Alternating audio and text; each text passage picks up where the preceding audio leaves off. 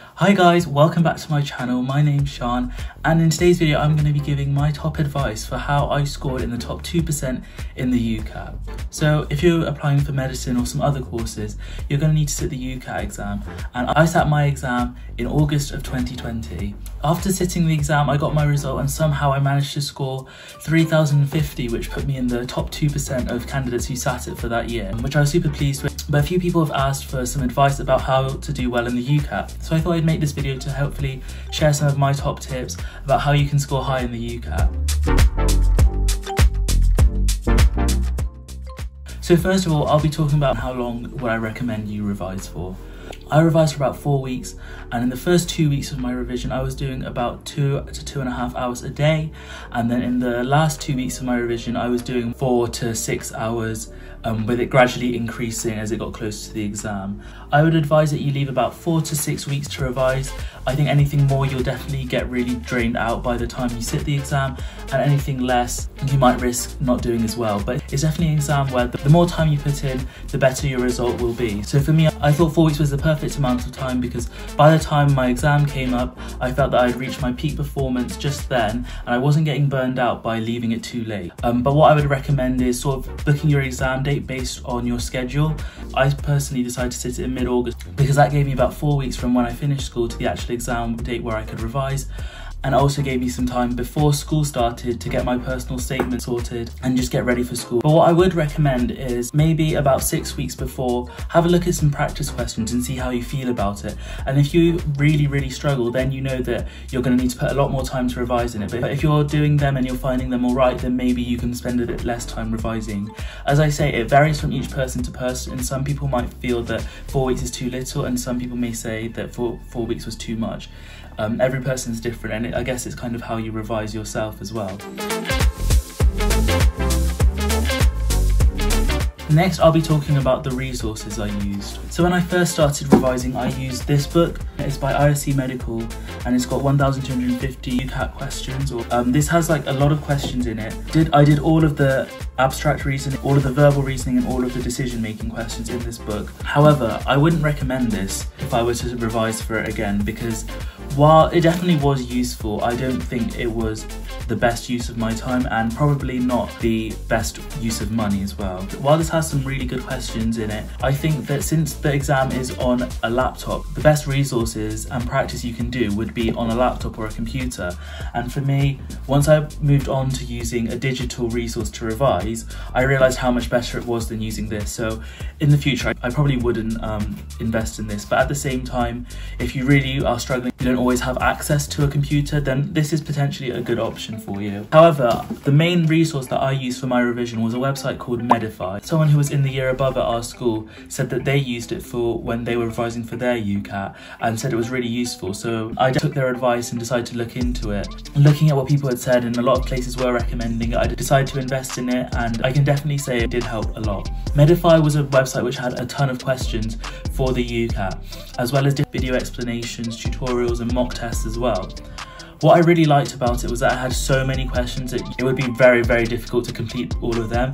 And I think by the time I sat my UCAT, I had probably done in total like maybe a third of the total questions that they had. It's also really good because they time it for you as well, which allows you to stick with timing.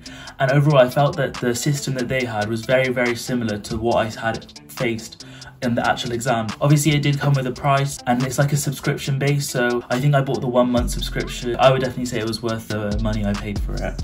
Other resources I used was the official UCAT website. This had a few questions. There wasn't a timer on it which was a bit annoying but um, I thought it was quite useful because obviously if it's coming from the official website you know it's going to be very very accurate to what you're going to face in the actual exam which I definitely thought was useful. However don't just rely on this because there's not a lot of questions on there. The Medic portal also had a good question bank, and I know that you can access some of their questions for free. So if you're if you're just looking to see what the UCAT exam is like, then I would recommend them because you can have a little trial of some of the questions and see what um, it might be like. You can also go on different UCAT courses. Um, I personally didn't, and I wouldn't really say it's necessary just because I think the UCAT is an exam where the way you do best is not by learning it from like a teacher or having someone explain it to you. The best way is to just do practice. Uh, definitely courses might help you with a bit of a technique, but I think that it's not necessary and you can find the different techniques that you might need on YouTube. So I probably would just save my money and not go on a course and instead use the time you would have spent on a course to just do the practice. I think that's a much better use of your time rather than paying extra money for a course. Now I'm going to talk a bit about how I studied for this exam. So at first I started doing practice questions completely untimed on Medify. I would recommend you do this for about two to three days maybe just to get a bit of a feel for what the exam would be like. But as soon as you can, go into timed questions. UCAT is very much a time pressure exam. I believe that it's best to practice with the time limit as early as possible just so you can get used to what you'll be faced with in the actual exam.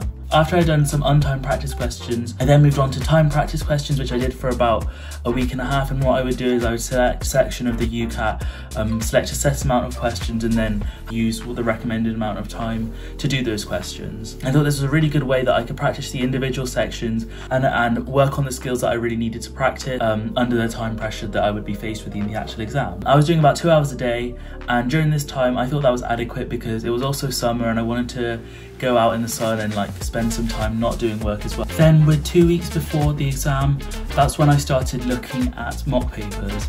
I compiled a list of every single mock paper I had available to me. And from this list, I allocated each uh, mock paper to a different day. And I had about two mock papers to do each day. I think it's very good to try and do as much, as many mock papers as you can, because it enables you to better identify your particularly weak areas, which you can go on to look at later, as well as making you get used to the format where you're sat down for two hours sitting an exam. Now I'll give you some general advice about sitting the UCAT. So the first piece of advice is don't underestimate it. The UCAT can be a really good exam to help boost your medical application, but it's not easy. It definitely does need a lot of work and if you want to score well, then you're going to have to put in the work to be able to achieve that score. It doesn't happen overnight. So make sure you plan enough time to study for it so that you can do the best that you can. My second piece of advice would be why it's important not to underestimate it, don't put too much importance on this exam. If you go into it with thinking that this exam is all or nothing, then you might find that you find it a lot more difficult and having that pressure won't be good for you. A lot of unis don't mind a slightly lower UCAT score. A huge number of people will get into medicine with UCAT scores that are below average. As well as that, even if the UCAT doesn't end up going as well as you would like, there are a huge number of other factors that will play into your medical application. Your personal statement, your A levels, and quite importantly, your interview. A lot of unis would prefer a candidate who performs really well at interview with a lower UCAT score than a candidate who doesn't do well at interview but has a high UCAT score. So don't try and put too much pressure on this exam because it's just one factor of many that will play into your application. And saying that, even if it doesn't go to plan, you still have the BMAT, which I think a lot of people are scared of, but it's definitely a really good option even if your UCAT doesn't go well. And if you know that the BMAT something you might be sitting, then it can take a lot of pressure off just performing well at this UCAT exam. The third piece of advice is make sure you give yourself adequate time off while preparing.